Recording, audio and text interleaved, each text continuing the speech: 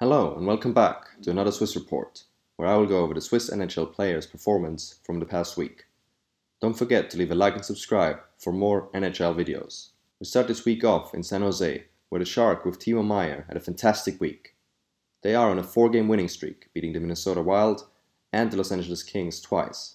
But the Wingers still only managed to score one goal and ended the week with that one goal and a plus one rating. Gaetan Haas and his Edmonton Oilers started the week off with two wins, but then had another game postponed because of COVID.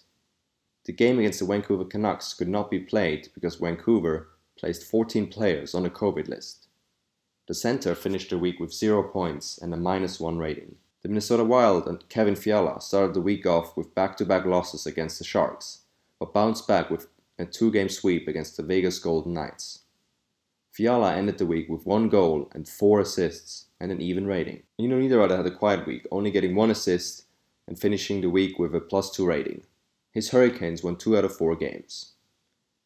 Dean Kukan was dressed for 3 out of Columbus Blue Jackets' 4 games, but had to watch the last one from the stands. He ended the week with a minus 1 rating. Captain Roman Josi and his Nashville Predators continue to climb the standings. This past week, they won 2 out of 3 games. The defenseman added 1 goal and 1 assist to his point total and ended the week with a minus 2 rating. He is now also the Swiss NHL top scorer, overtaking Mark Streit in total points scored in the NHL. Pius Suter and Philipp Kurashev didn't contribute any points as the Chicago Blackhawks lost two out of three games. Suter ended the week with a minus 3 rating, and Kurashev with a minus 1. Jonas Siegenthaler once again didn't see any ice time, and was a healthy scratch for all three of the Washington Capitals games. And Nico Hischier is still out with an injury. That's it from me, I'll speak to you next week for another Swiss report.